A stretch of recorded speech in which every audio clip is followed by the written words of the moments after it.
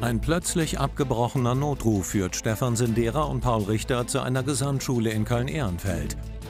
Es ist der Beginn eines nervenzerreißenden Einsatzes. Meinst du, ein Lehrer ist überfallen worden oder was? Oder jemand hat hier Hallo? seine Aktentasche verloren. Einmal Person? Scheiße. Hey, Waffe, hast du gesehen? Ja, liegt vor mir. Hallo? Er hat was auf den Nasenrücken bekommen, ne? Einmal Luft und die Polizei ist da. Hey, die Waffe ist scharf. Gib, mir- gib mir die Waffe. Hä? Gib mir die Waffe. Die ist scharf. Pass auf.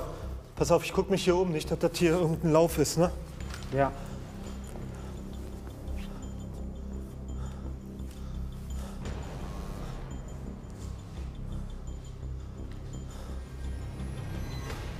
Wach werden. Hier schön wach werden. Schön langsam, ganz langsam. Polizei ist da.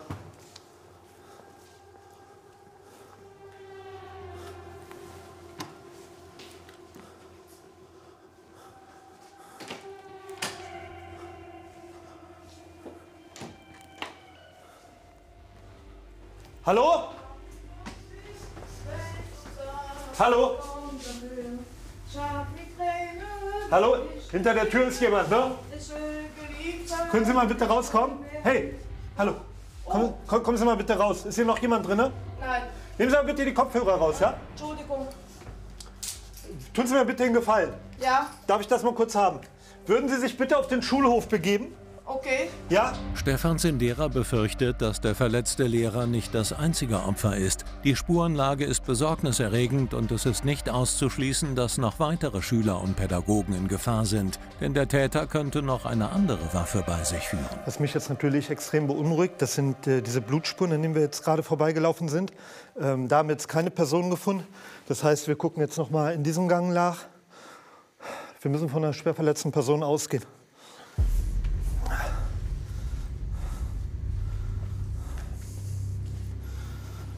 Scheiße.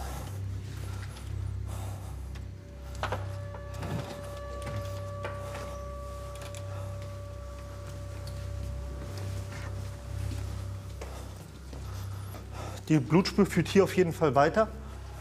Und hier sind weitere Blutspuren. Und die enden hier zu diesem Raum. Das heißt, ich kann jetzt selber nicht ganz zuordnen, gehören die Blutspuren jetzt jemandem, der tatsächlich verletzt ist oder möglicherweise einem Täter.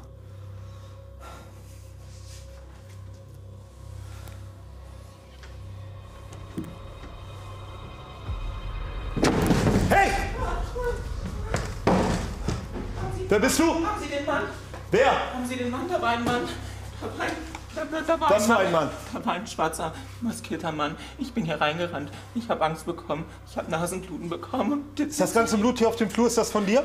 Weiß ich nicht, wahrscheinlich ja. Okay, ist alles gut. Wie heißt du denn? Fridolin. Fridolin.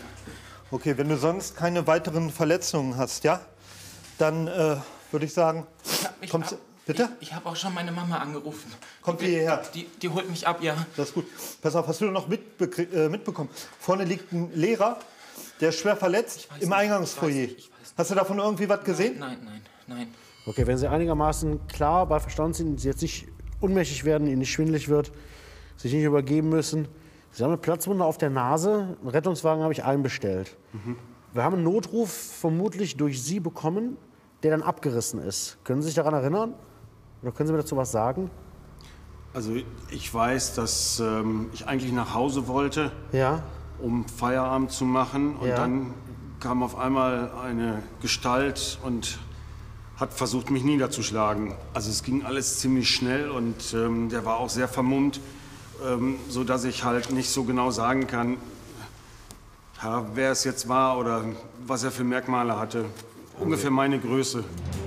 Zur gleichen Zeit überprüfen die Kollegen auf der Wache die Seriennummer der sichergestellten Pistole und können tatsächlich den Halter ausfindig machen.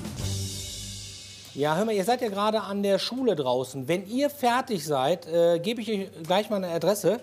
Und da müsstet ihr mal vorbeifahren. Da haben wir den äh, Besitzer der Waffe ermittelt. Das ist ein Herr Groß, Grubenbecher Straße 5 hier in Köln. Ja, bedankt, habe ich mit. Äh, groß. Auf den ist die Waffe registriert. Sagt Ihnen halt irgendwas? Jochen Groß? Groß. Wie klein? Also, das ist ja ein unhöflicher Kerl, ein, ein Pflege vom Herrn. Also, das ist, das ist der Vater von Marvin Groß. Äh, also, das, das, Schüler. Also Marvin ist ein Schüler und das ist der Vater von dem Schüler. Genau. Ja. Und das ist so ein, ein Pöbel, ein, ein Ach vom Herrn. Man weiß überhaupt nicht, was man dazu sagen soll, weil äh, der Marvin, erst gestern noch, gestern hat er Fridolin noch angepinkelt, da hinten auf dem Schulhof, was ich gesehen habe. Und daraufhin habe ich dann dementsprechend die Suspendierung von Marvin veranlasst. Und ich kann mir schon genau vorstellen, dass derjenige mich hier überfallen hat und versucht hat, niederzustrecken. Die Situation ist natürlich äh, eine angespannte. Einmal haben wir die Waffengeschichte überhaupt in der Schule, dann haben wir den Verdacht, dass es sich hier ähm, zumindest aufgrund der aufgefundenen Waffe um einen, ähm, um einen Elternteil handeln könnte, das nicht zufrieden mit den äh, Maßnahmen der Schulleitung oder des Lehrers ist. Hier geht es um eine Suspendierung äh, vom Unterricht. Wir werden als nächstes versuchen, mit dem Herrn Groß zu sprechen und äh, Klarheit zu finden, was das mit den Waffen auf sich hat. Der scheint ja besitzen zu dürfen, aber wenn der sich so verhält, äh, die längste Zeit. Ja, aber ansonsten lasse ich die direkt dann zur Wache bringen, ne? In dem Zustand, wie er ist, das ist ja leicht schockig. Ja, ja, Ne? ist klar. Wir gehen jetzt mal zu deiner Mutter, ja? Komm. Forensikerin Ava Kremin hat das Handy eines Mitschülers, der die abscheuliche Mobbing-Attacke auf den 16-jährigen Fridolin gefilmt hatte, ausgewertet. Es wurde gestern von dem angegriffenen Lehrer sichergestellt und an die Polizei übergeben. Der widerwärtige Angriff lässt selbst die erfahrenen Beamten erschaudern.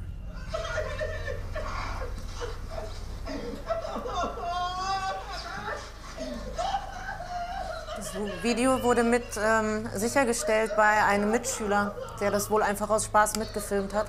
Aus Spaß mitgefilmt. Ja, ich weiß auch nicht, wie man dabei Spaß haben kann. Bah, das ist ja widerlich. Also er ist jetzt angepinkelt worden. Der, ist, richtig?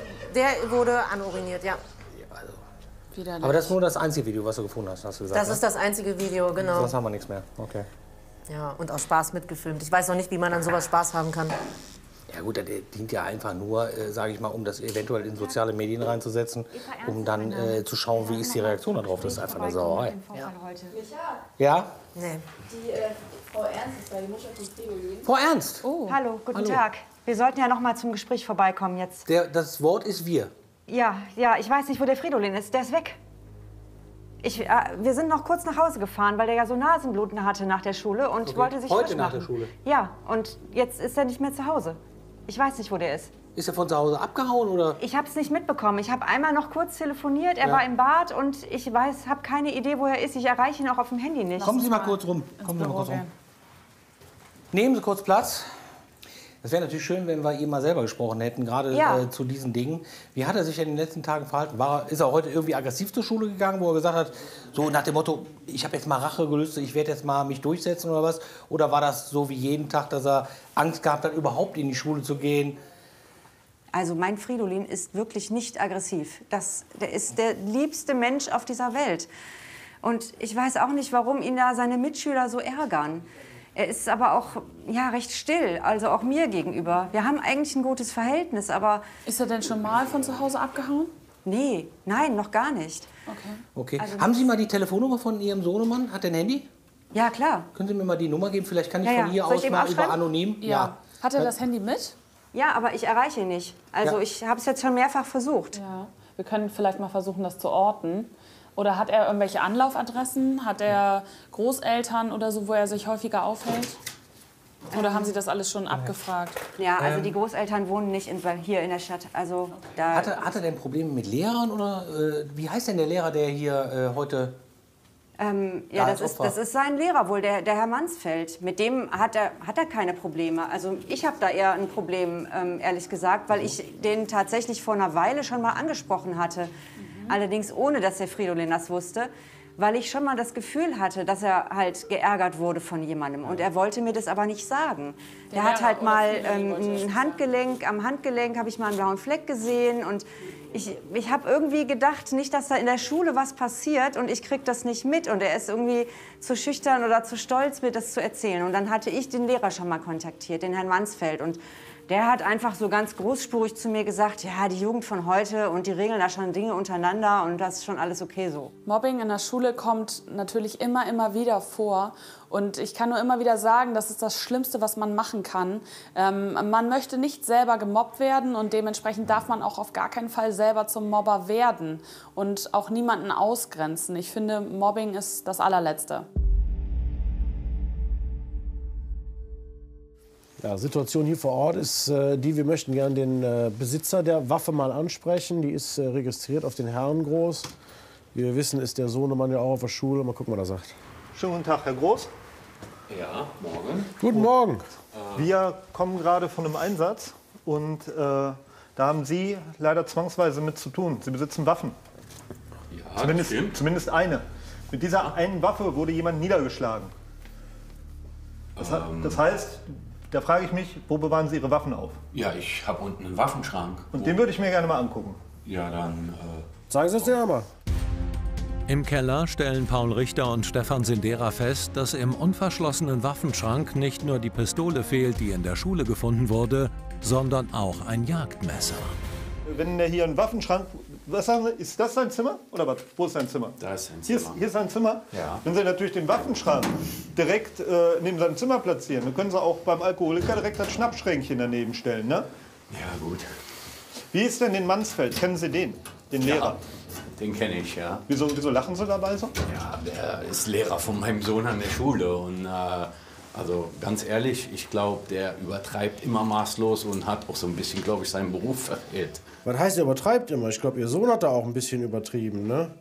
Ähm, so wie ich das äh, aufgenommen habe, muss der Marvin wohl einem seiner Mitschüler nicht nur zugesetzt haben, sondern da ging es wohl auch darum, dass, äh, ich sage jetzt mal ganz salopp, äh, dass der danach irgendwie durch ihn angepinkelt wurde. Sie wissen ja auch, wie der früher war. Man sagt ja langläufig, das Kind ist immer das Produkt seiner Erziehung. Da fällt es mir natürlich sehr schwer äh, oder eigentlich auch sehr einfach, wenn ich an den Herrn Groß denke, wie lax und lapidar der mit Waffen umgeht ähm, und dass er überhaupt irgendwie keinen Bezug zu seinem Sohn hat, dass er überhaupt weiß, wer das ist und dass er so Sachen... Ähm, das ist ja die extremste und schärfste Art von Mobbing, wenn jemand einen anderen da anpinkelt. Also auf so einen Gedanken würde ich überhaupt nicht kommen. Also wenn das die Erziehung ist, dann wundert mich auch nicht, warum der Marvin so abgeht.